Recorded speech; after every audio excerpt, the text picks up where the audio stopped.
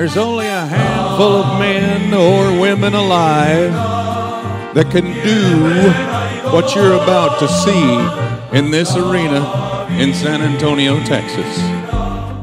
I'm ambassador of, my own culture, culture of the charro and Mexican, and the roots of rodeo also, and and to be able to share that in, to the world is a is a joy, is a pleasure, and it's a commitment. This is my heritage.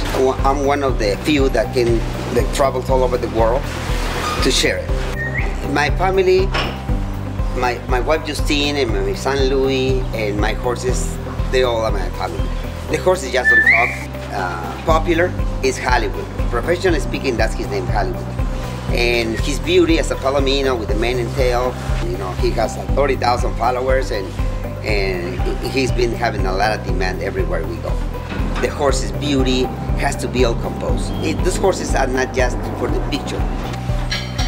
La, my horses, again, it, there's 100% our family. They depend on us and we depend on with them. So it's it's not a tool.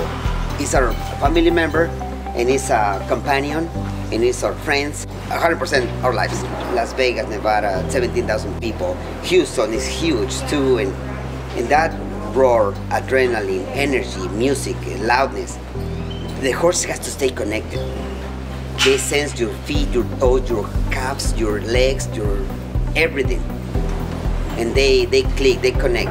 And then that's my joy it, it, this is a pride.